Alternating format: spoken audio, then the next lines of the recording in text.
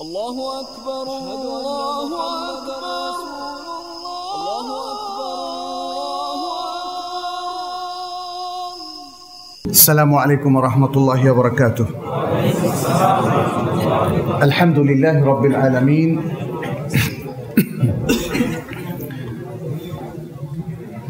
نحمده نحمده ونستغفره ونستهديه ونسترشده. ونعوذ بالله من شرور أنفسنا وسيئات أعمالنا من يهده الله فلا مضل له ومن يضلل فلا هادي له. وأشهد أن لا إله إلا الله وحده لا شريك له. وأشهد أن محمدا عبد الله ورسوله. اللهم صل وسلم على نبينا محمد وعلى آله وأصحابه. ومن تبعهم بإحسان إلى يوم الدين. أما بعد. আত্মাকুয়া মসজিদ সিলেক্ট করতে আয়োজিত আজকের দুদিন ব্যাপী কনফারেন্সের প্রথম দিনে যে সমস্ত দিন দরদি ভাই বোনের উপস্থিত হয়েছেন, সবাইকে স্বাগত জানাই। ইতোমধ্যে, আলহামদুলিল্লাহ, আপনারা বিজ্ঞ আলোচকদের কাছ থেকে অনেক গুরুত্বপূর্ণ দিনই আলোচনা শুনেছেন এবং ইমাম ইবনু তাইমিয়ার মতো একজন ব্যক্তির উপর যে বইটি লেখা হয়েছে সেটিও আপনাদের সামনে সংক্ষিপ্তভাবে উপস্থাপন করা হয়েছে। যারা এখানে এই এই কমপ্লেক্সের পরিচালক হিসাবে কাজ করছেন, দিনরাত পরিশ্রম করে এই কনফারেন্সের আয়োজন করেছেন, তাদের সুক্রিয়া জানাই, ধন্যবাদ জানাই আল্লাহ, তাদের, আমাদের সবার জুহুদগুলোকে, প্রচেষ্টাগুলোকে আল্লাহ তালা কবুল করুন, আমিন। আর আপনারা দীর্ঘক্ষণ ধরে আমাদের বিভিন্ন সাহিত্যদের আলোচনা শুনেছেন। ধৈর্য ধরে অনেকটা একমুখী আলোচনাই বলা যায়। সেই জন্য আপনাদেরও সক্রিয়া জানাই। আল্লাহ আপনাদের আমাদের সবাইকে সিরাতুল মুস্তাকিমের উপর থাকার তৌফিক দান করুন। দিনের সঠিক বুঝ আমাদেরকে দান করুন। এবং আমরা যেন শেষ নিঃশ্বাস পর্যন্ত পূর্ণ ইমান এবং কোরআন এবং সহি সন্ন্যার উপর থাকতে পারি। আল্লাহ আমাদেরকে সকলে, সকলকে সেই তৌফিক দান করুন। আমিন। ইয়া রব্বাল আলমিন। বিষয় হচ্ছে কোরআন সুন্নার জ্ঞান অর্জনের নীতিমালা। অনেক বড় বিষয় কিন্তু। বরং এটা একটা কনফারেন্সের বিষয় বলা যায়, যার বিভিন্ন দিকের উপরে আমরা আলোচনা হয়তো করলে বিষয়টা সবার কাছে স্পষ্ট হতো। কিন্তু আমার সময় মাত্র আধা ঘণ্টা বা আরও পাঁচ মিনিট বেশি। ফলে গুরুত্বপূর্ণ অনেক কিছুই শেয়ার করা যাবে না। আশা করব যে এরকম একটা পুরো থিমের বিভিন্ন বিষয়ের উপরে যদি দিনব্যাপী আরেকটা কনফারেন্স কখনো আয়োজন করা যায়, সেখানে আমাদের স্কলাররা এবং শায়েখরা বিভিন্ন বিষয়ের উপর আলাদা করে আলোচনা করলেন, সেটা হয়তো আরও সুন্দর হবে। তারপরেও আজকে যেহেতু বিষয়টা নিয়ে আমাদেরকে বলতেই হচ্ছে, আমি কিছু বিষয় আপনাদের সামনে তুলে ধরবো ইনশাআল্লাহ। রাসুল্লাহ সাল্লাহ সাল্লামের সেই হাদিসটি দিয়ে শুরু করব, যেটি ইমাম বুখারি এবং মুসলিম তাদের সহি গ্রন্থদয় উল্লেখ করেছেন। সেটি হচ্ছে এই, নবী সাল্লাহ আলাইসাল্লাম বলেছেন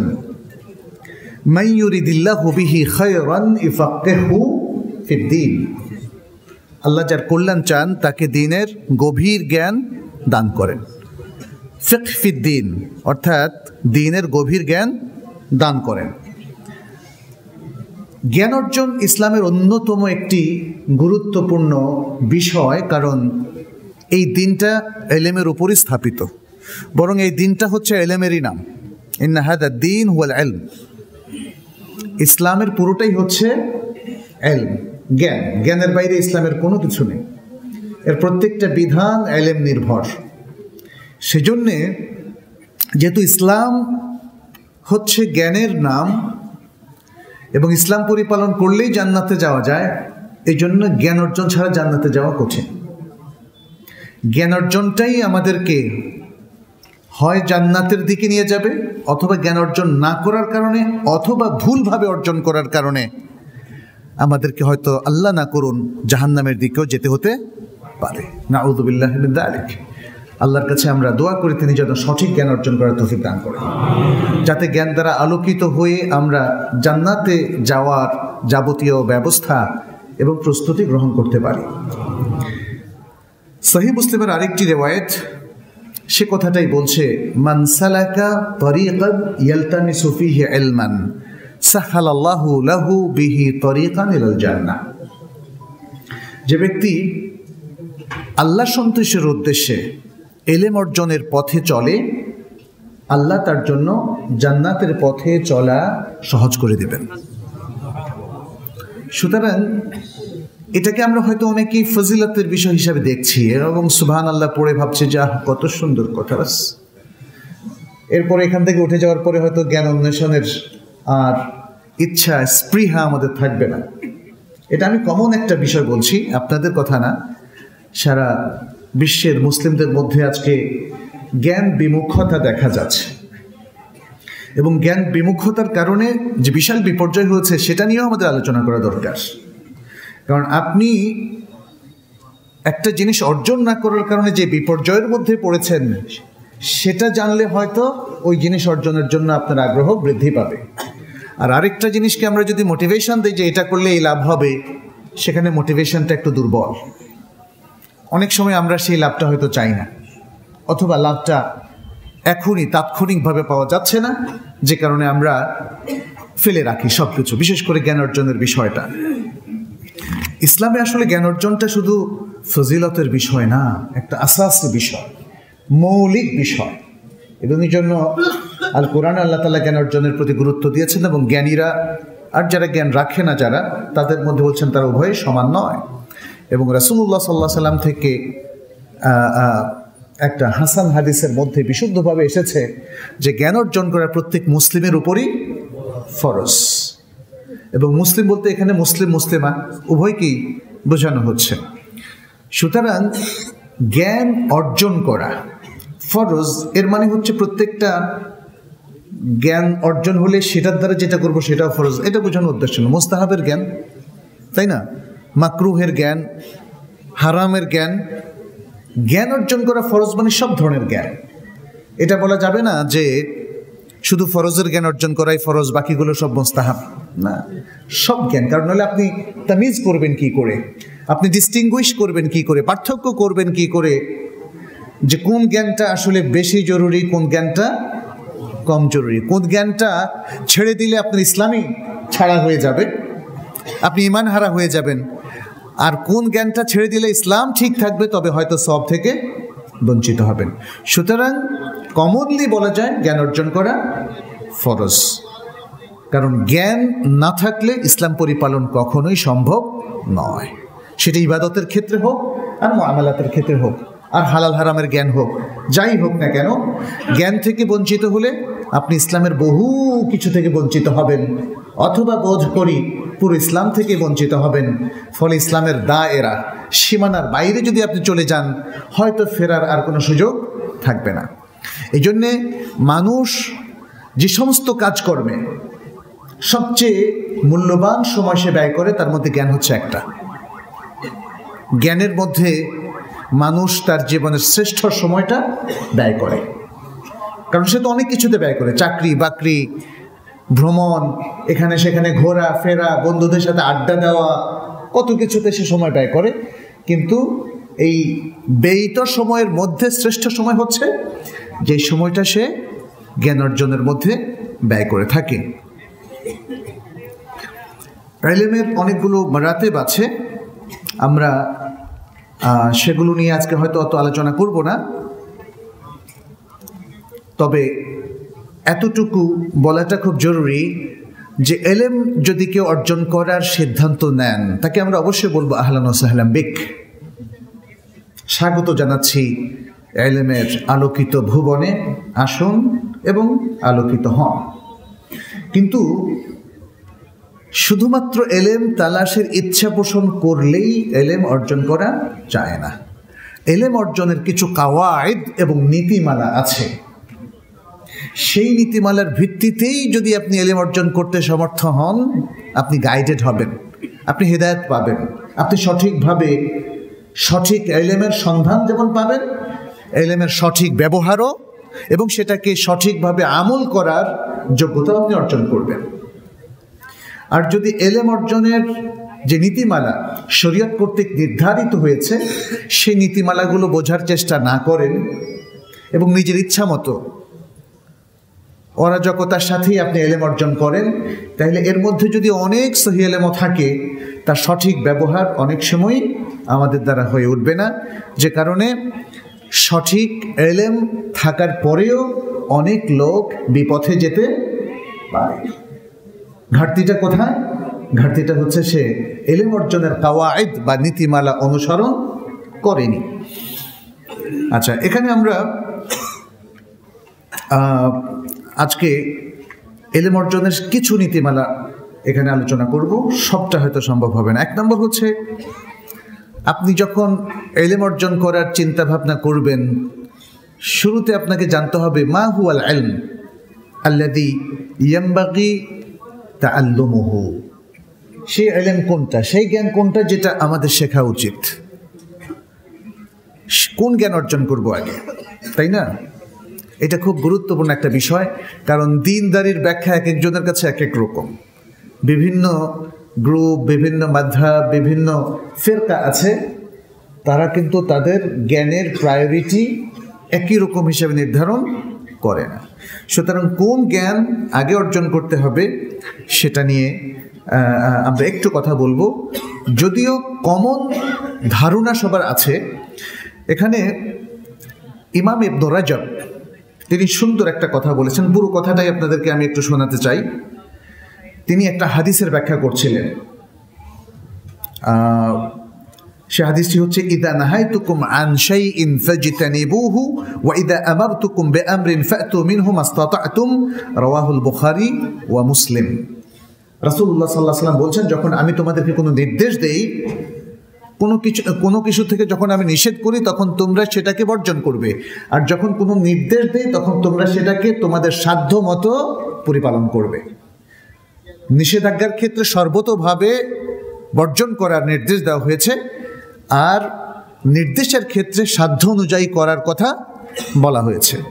তো এর ব্যাখ্যায় ইবনে রাজব তিনি বলছেন ফাল্লাদি ইয়াতাআইয়ানু আলাল মুসলিম আল আইতিনাউ বিহি ওয়াল মুসলিমদের উপর নির্ধারিত ফরজ হলো যে তারা এই বিষয়টির উপর গুরুত্ব দেবে এবং একে জরুরি বলে মনে করবে।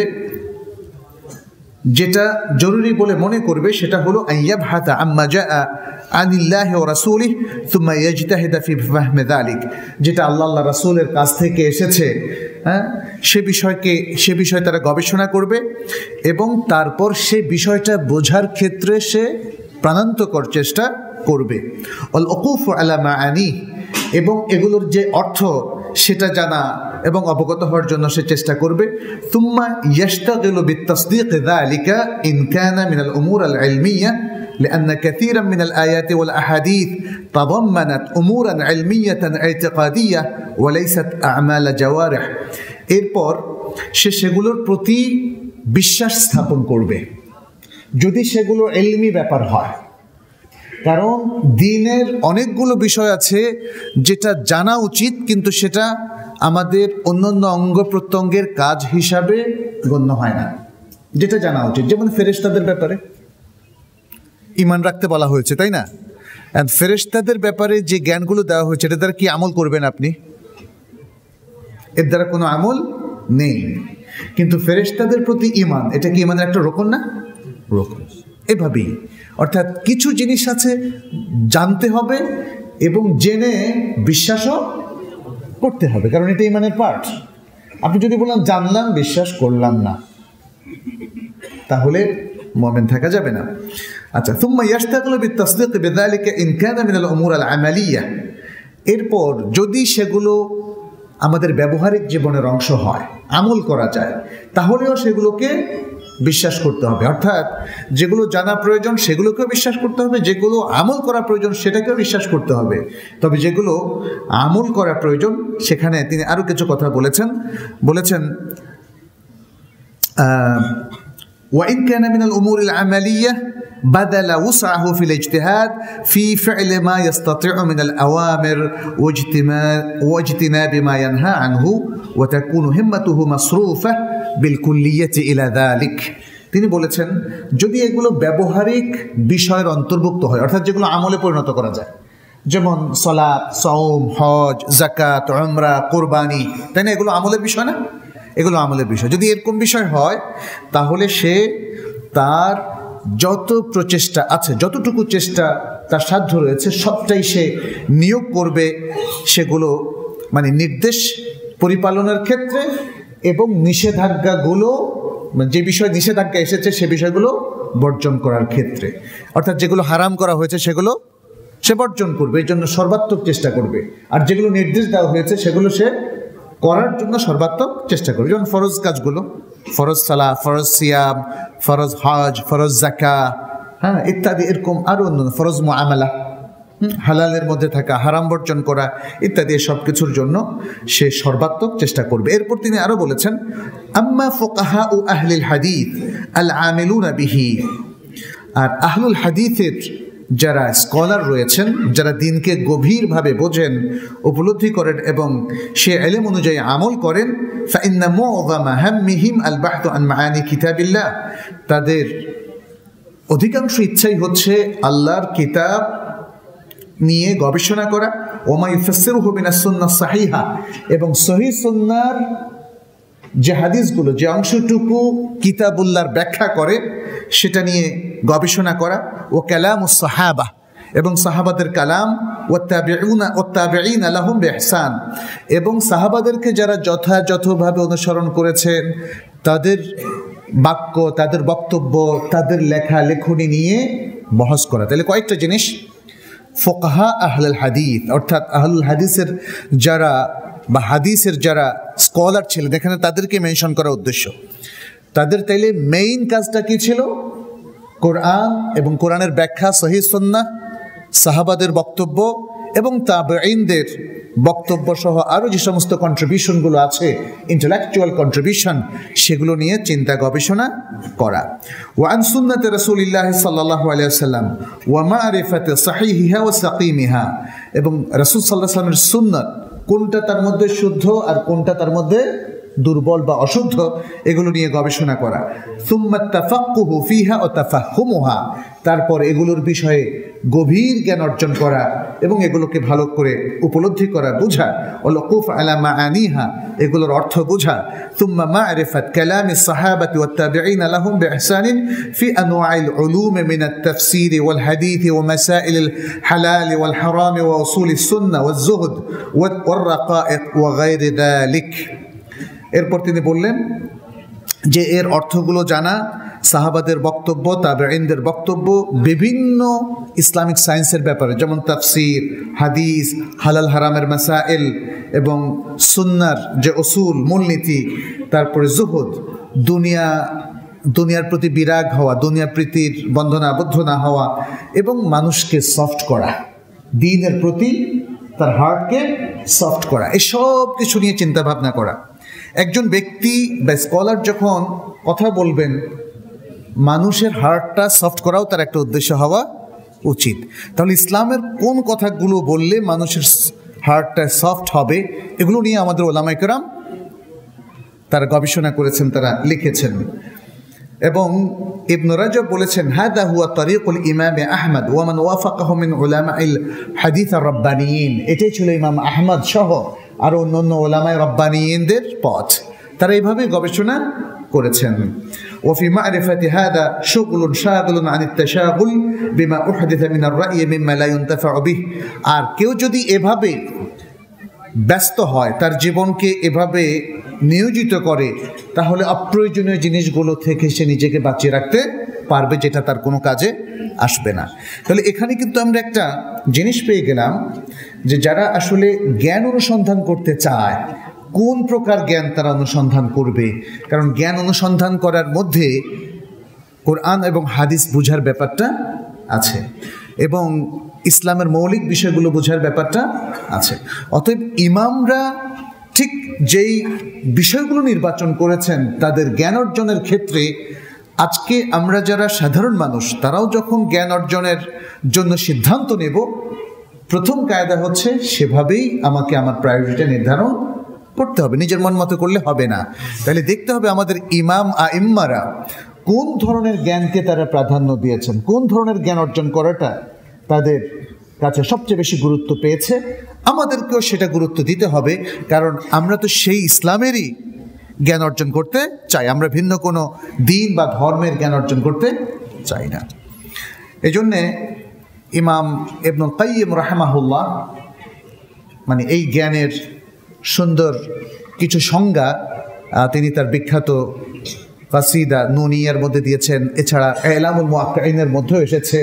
শব্দের কিছু হেরপের আছে।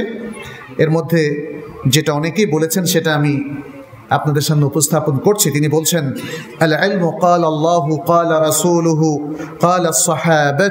উলুল মাল খিলাফ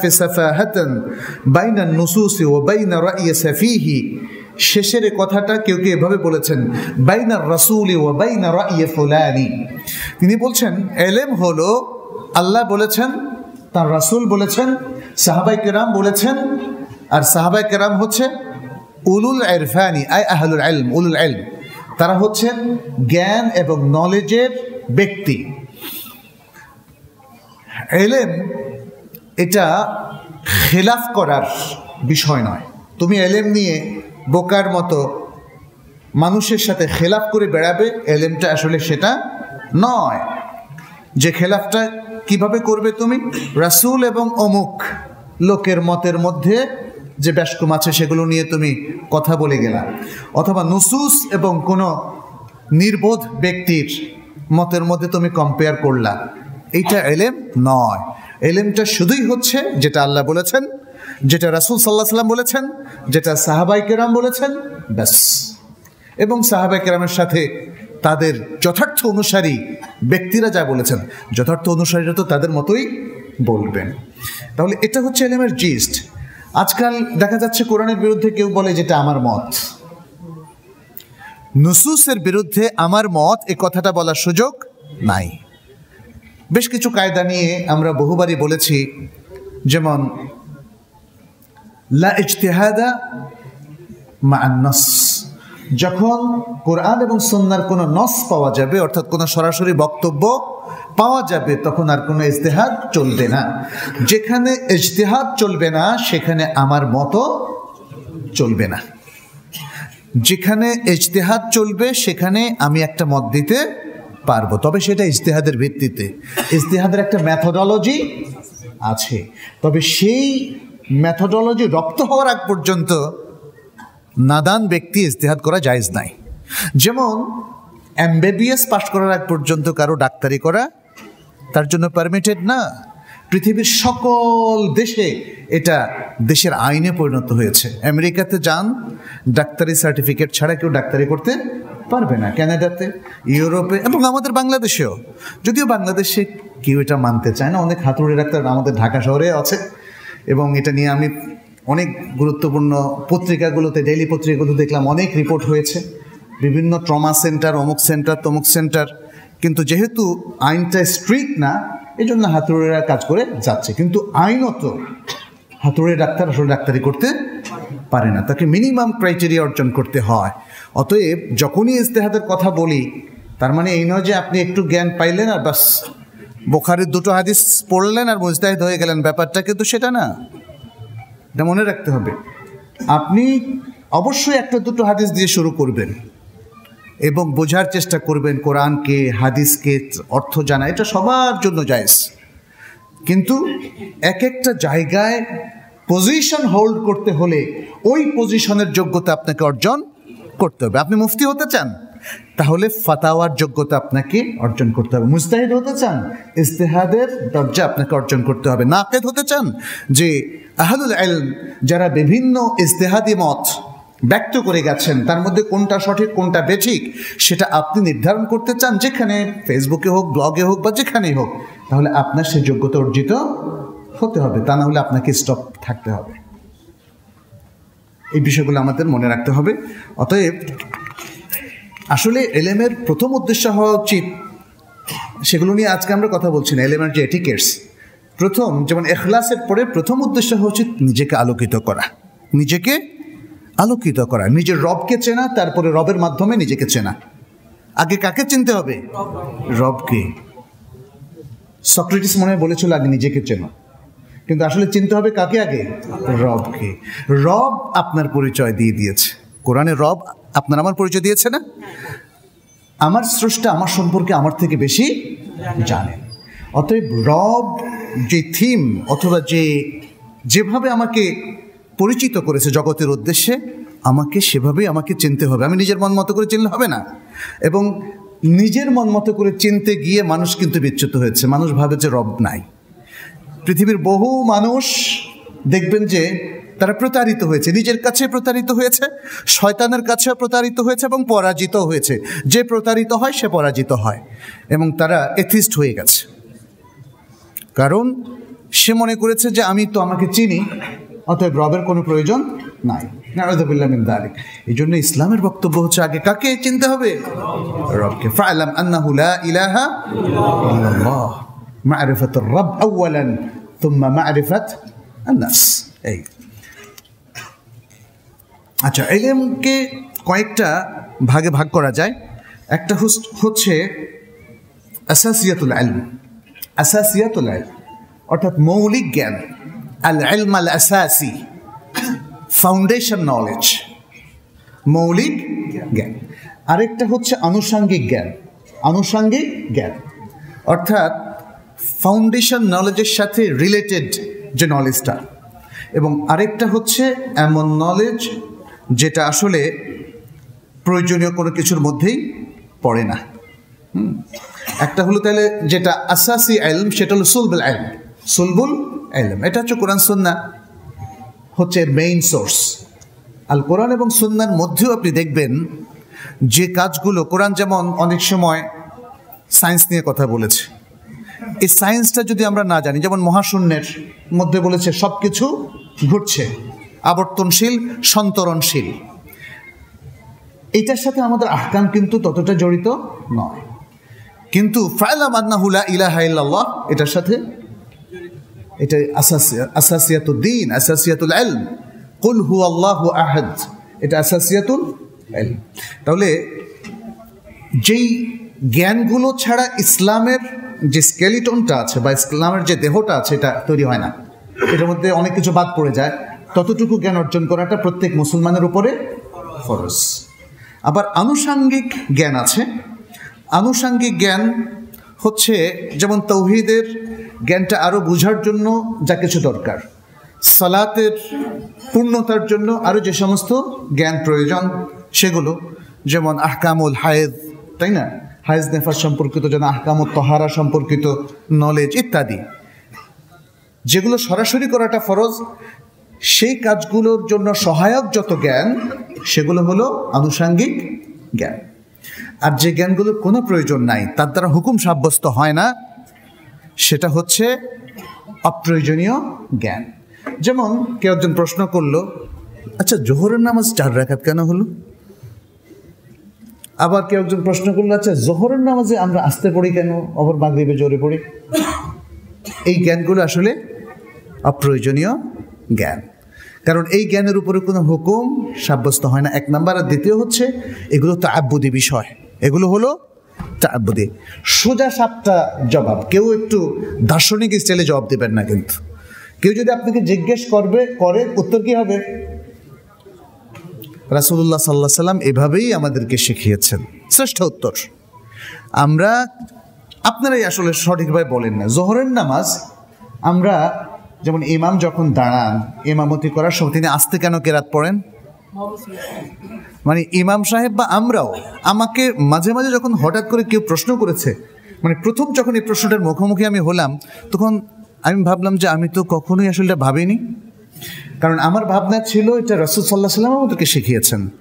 সাল্লু কামার আইতুমনি উসাল্লি, অতএব তিনি যে সালাদগুলোতে বা যে সালাদগুলোর প্রথম দুই রাখাতে জোরে পড়েছেন, আমরা সেগুলোতে জোরে পড়েছি।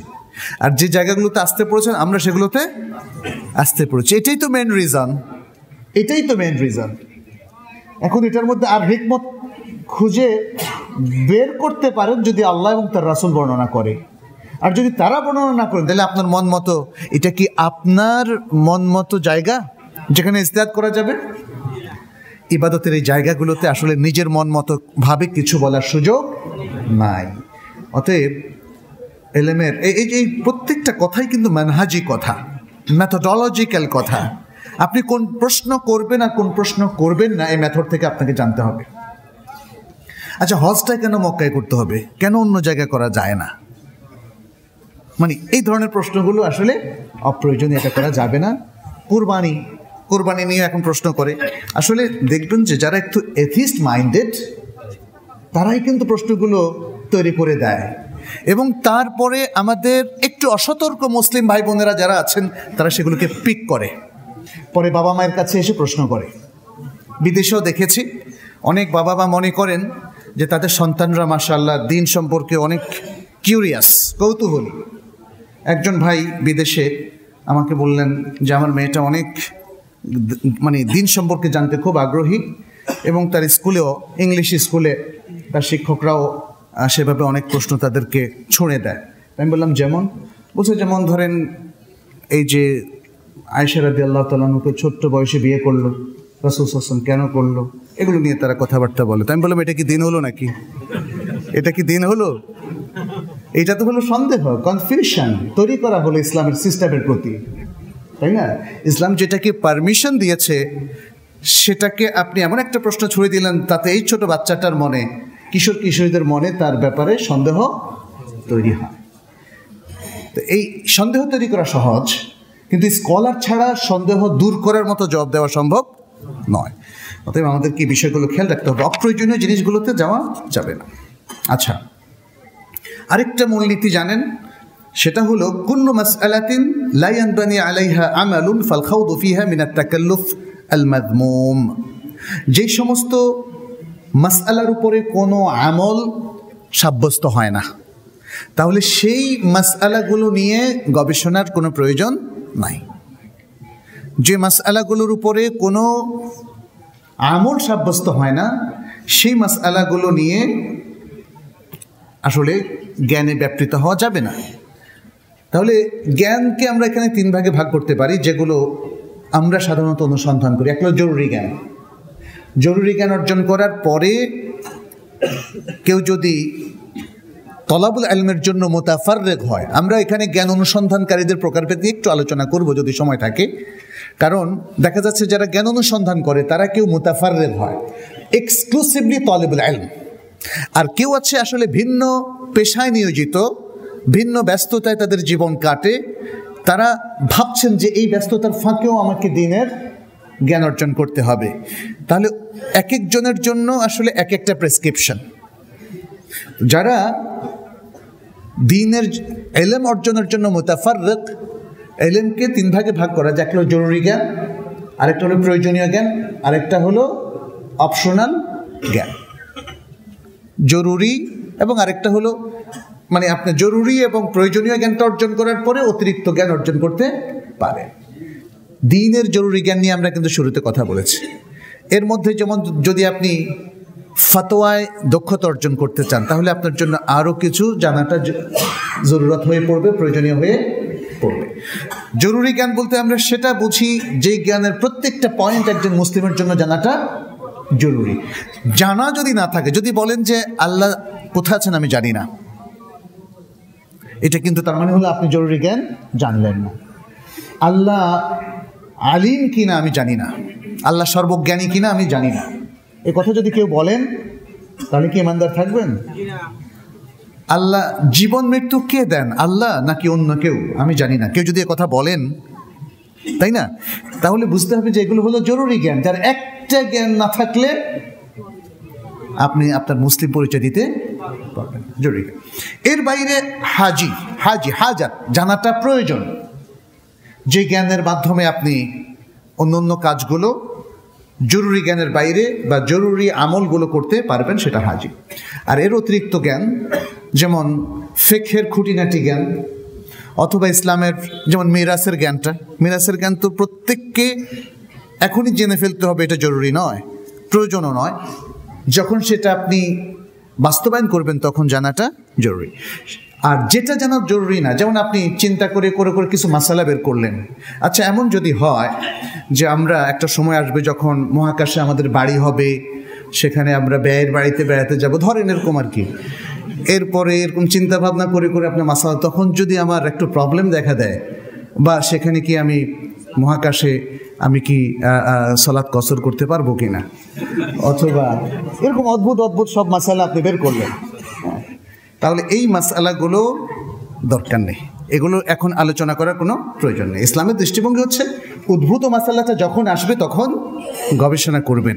হাজার হাজার মশালা আপনি বানিয়ে বানিয়ে বানিয়ে অপ্রয়োজনীয় জিনিস, তাহলে আপনার সময়টা কেটে যাবে সেখানেই অপ্রয়োজনে। আর প্রয়োজনে কিন্তু আপনার সময় দিতে পারবেন তাহলে এটা আপনাকে মনে রাখতে হবে। এর অনেকগুলো সুন্দর সুন্দর উদাহরণ আছে।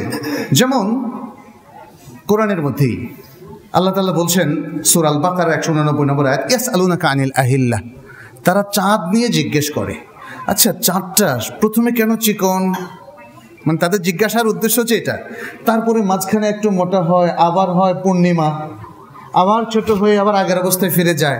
কেন? আচ্ছা রাসুলকে জিজ্ঞেস করা তো কারণ এগুলো রাসুল সাল্লামকে জিজ্ঞেস করা হতো পরীক্ষার জন্য। উনি তো রেসালাতের দাবি করেছেন? আল্লাহর কাছ থেকে নাকি ওহি আসে? আচ্ছা, জিজ্ঞেস করে দেখুন এগুলো জানে কিনা বুঝে কিনা।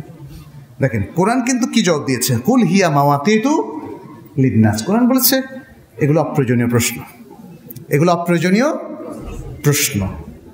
কোরআন প্রশ্নটার উত্তরে যেটা প্রয়োজন সেটা জানিয়ে নিয়েছে।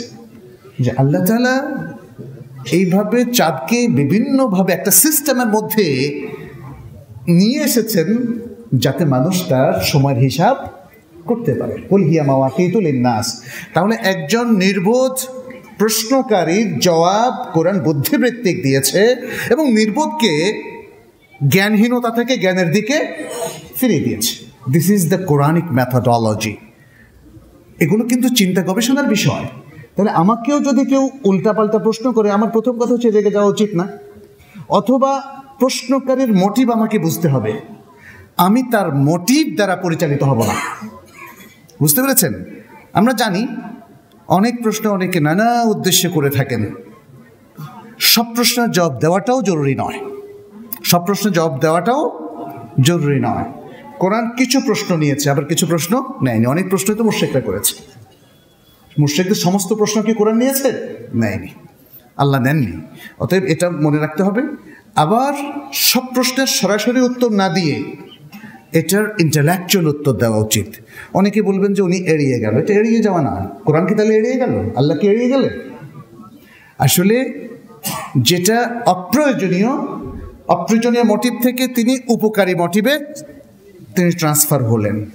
অতএব বুঝতে হবে যে কোনো স্কলার যখন একটা প্রশ্নের সরাসরি জবাব না দিয়ে ভিন্ন জবাবটা দেন, আপনাকে তার এখানে স্কলারলি ইফোর্টটা কী ছিল থটটা কী ছিল, সেটা চিন্তা করে বের করতে হবে।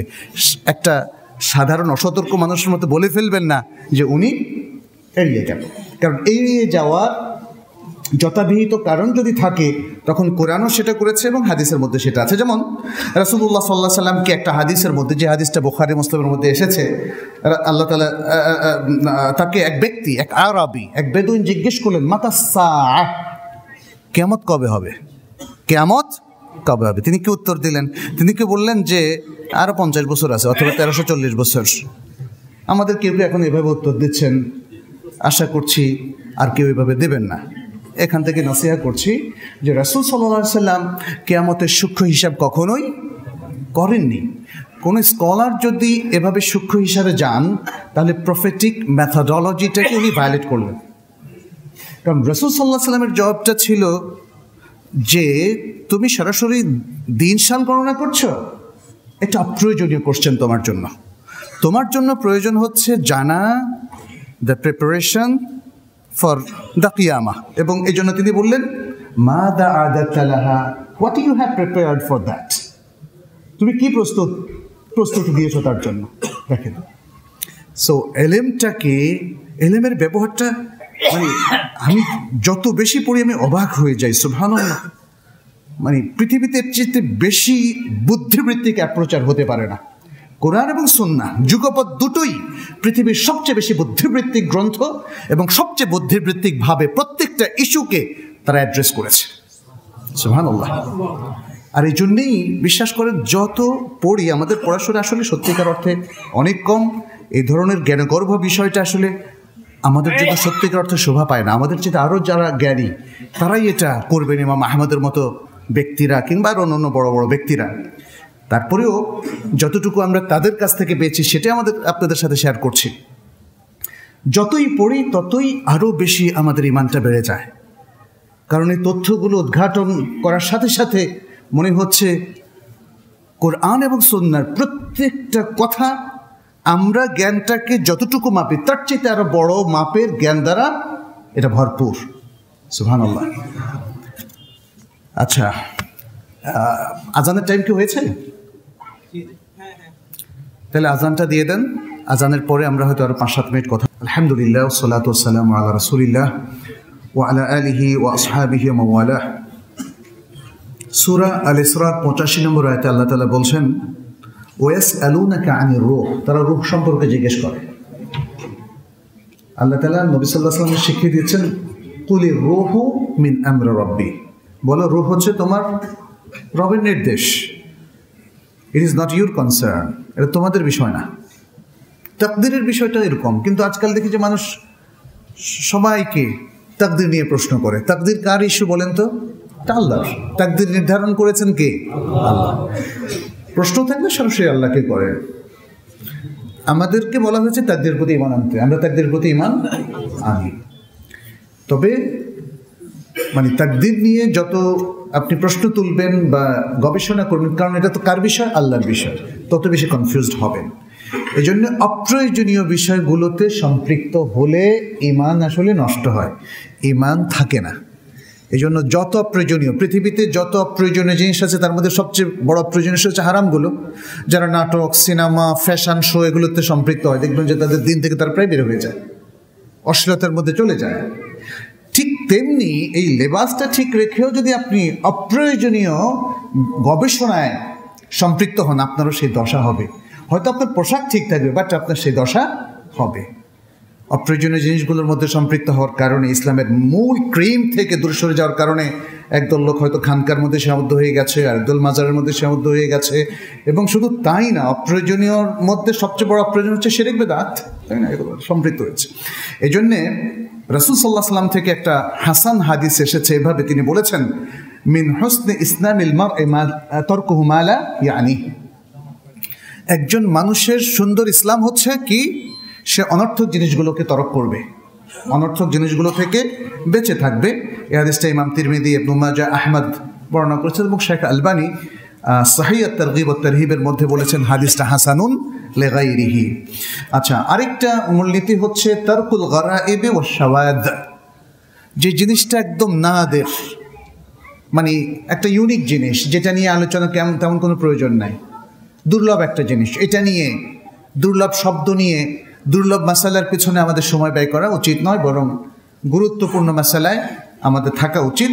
এটা যেমন ইমাম আহমদ ইবনে হাম্বল থেকে একজন বর্ণনা করছেন, হাসান বিন মোহাম্মদ। তিনি বলছেন, আমি আহমদ ইবনে হাম্বল রাহমাহুল্লাহকে শুনেছি তিনি গরিব হাদিস সম্পর্কে তিনি বলছেন, তাকে প্রশ্ন করা হলো, তখন তিনি উত্তর দিলেন সেই উন গরিব উন আয়ু সেই ইন রজাবি একটা জিনিস গরিব গরিব মানে কি? আমাদের বাংলাদেশের গরিব না কিন্তু।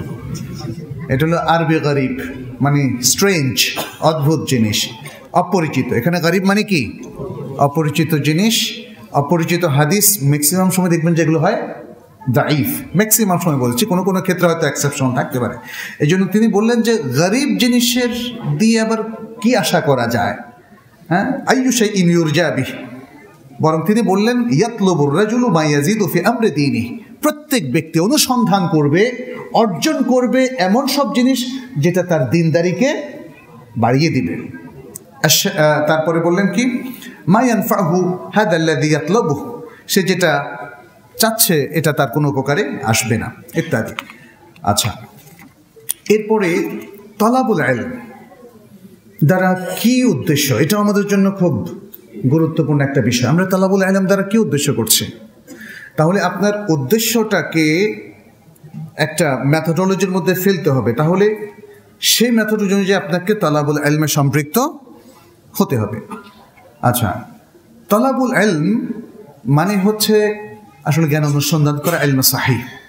এখন দেখা যাচ্ছে যে এলমে সাহি আমাদের সালাফ যেই তরিকায় অর্জন করেছেন, তাহলে সেটা একটা তরিকা?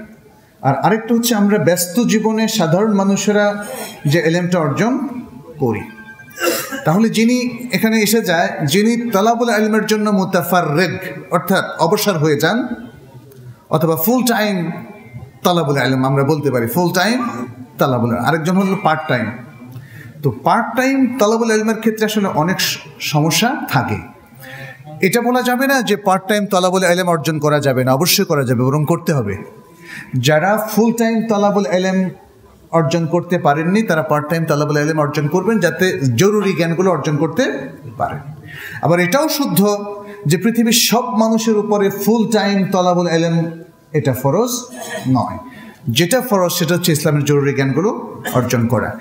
এখানে আমরা পার্থক্য করছি এজন্যে যে প্রত্যেকের জন্য আলাদা একটা ম্যাথোডলজি থাকবে এবং প্রত্যেকের জন্য তার মর্যাদা নির্ধারিত থাকবে। সেটা কি? সেটা হচ্ছে পরবর্তী কায়দা। সেটা হচ্ছে যিনি শেরই এলমের মোতাখাসিস এক্সপার্ট তিনি এবং যিনি শেরই এলেমের এক্সপার্ট নন, উভয়ের মধ্যে পার্থক্য সাধন করা। যেমন একজন যদি ফিক এক্সপার্ট হন, আরেকজন আকিদার এক্সপার্ট হন, আরেকজন তফসিরের এক্সপার্ট হন, অথবা এরা প্রত্যেকেই রলুম আর শারিয়ার এক্সপার্ট আর আরেকজন আমরা ধরলাম, তিনি একটা প্রাইমারি স্কুলের শিক্ষক, অনেক জ্ঞানী গুণী মানুষ বাট তার শরিয়ার জ্ঞানটা ওইভাবে নাই। তাহলে একজন মুসলিম হিসেবে দুজন ব্যক্তির মধ্যে তার এক্সপার্টাইজের দিক থেকে আমাদেরকে পার্থক্য করতে হবে। তাহলে এখানে সেরাই মতামত দেওয়ার অথরাইজড ব্যক্তি হচ্ছেন যিনি এক্সপার্ট আর যিনি মুসলিম এবং তার হয়তো মৌলিক জ্ঞান আছে তিনি শরিয়ার ব্যাপারে যে কোনো উত্তর দেওয়ার জন্য এক্সপার্ট ব্যক্তি নন অথরাইজড ব্যক্তি নন। এই জিনিসটা মনে রাখলে আমরা অনেক সমস্যা থেকে হয়তো উদ্ধার পাবো। কারণ দেখা যাচ্ছে যে কোনো প্রতিষ্ঠানের সাথে সম্পৃক্ত যদি এক্সপার্ট ব্যক্তিরা থাকেন, তাদের উপর আমাদের নির্ভরশীলতা থাকবে যদি এই কায়দাটা আমাদের জানা থাকে। এই মূলনীতিটা আমাদের জানা থাকে। কোনো বিষয় আমাদের সংশয় থাকলে অবশ্যই আমরা সেটা প্রশ্ন করব। বাট আফটার অল আপনি যেটা ভাবছেন, আপনার সংশয় দূর হলো না। ভাববেন না যে সংশয় দূর, বা আমি পারলাম না আপনার সংশয় দূর করতে, অথবা তাকুয়া মসজিদ কমিটি কোনো একটা বিষয় আপনার সংশয় দূর করতে পারল না। ব্যর্থতা কার? আপনি যদি মনে করেন, যেহেতু আমার সংশয় সে দূর করতে পারল না, অতএব ব্যর্থতা তার। এই এই সিদ্ধান্তে উপনীত হওয়া যাবে না। কারণ মানুষের মধ্যে ভেদাভেদ আছে। অনেক মানুষের বুঝ কম, গোড়ামি বেশি। বুঝ কম গোড়ামি বেশি। সুতরাং এটাও একটা কারণ হতে পারে। আর এটা হতে পারে অনেক সময় কর্তৃপক্ষ সে দলিলের দিকে গেল না।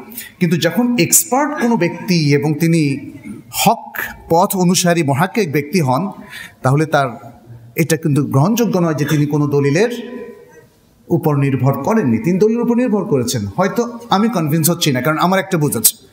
অতএব এখানে এই গোড়ামের আলোকে সিদ্ধান্ত নেওয়া যাবে না। এখানে মোতাখাসেস, গায়ের মোতাখাসেসের মধ্যে আমাদের তামিজ করতে হবে। এবং এটা হচ্ছে এমন, যেমন সে ইমাম আহমদ ইবন হাম্বাল, অথবা ধরলাম ইমাম আবু হানিফা রাহমাহুল্লাহ, কিংবা ইমাম মালিক।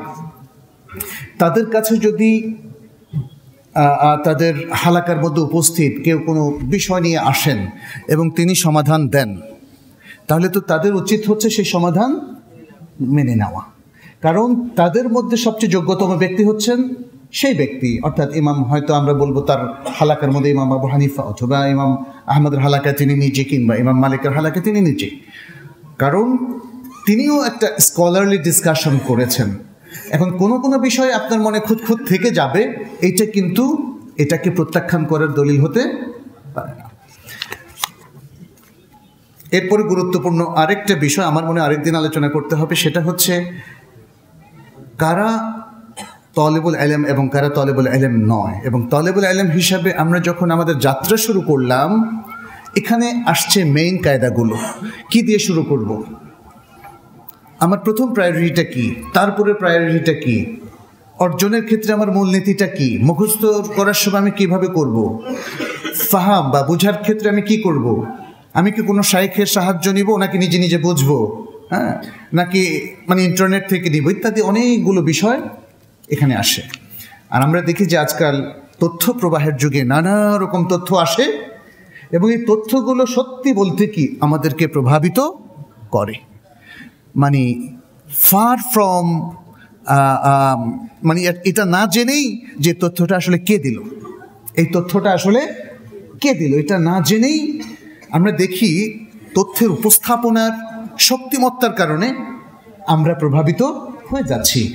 এবং ঠিক এটাও একটা বড় কারণ, সমাজের অনেকে ভুল পথে যাচ্ছে। কারণ কেউ মনে করছে যে, না, এটাই সঠিক কারণ, সেটা দ্বারা প্রভাবিত হলো।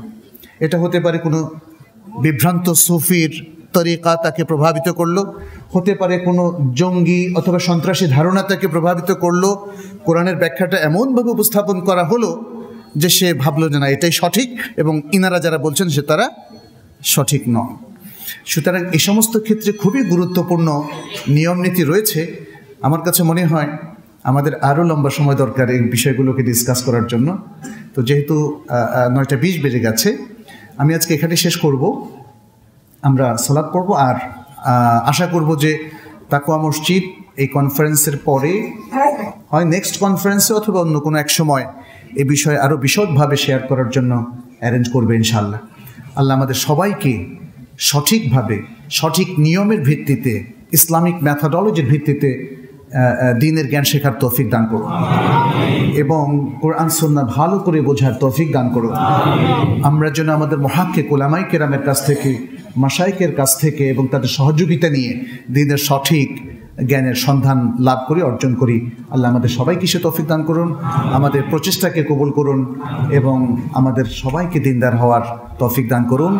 হাদা সাল্লাহ সাল্লাম আলা নবীনা মোহাম্মদ ও আলা আলিহি ও আসহাবিহি আজমাইন। আসসালামু আলাইকুম রহমতুল্লাহ। সুবহানাক আল্লাহুম্মা বিহামদিক। আশহাদু আল্লা ইল্লা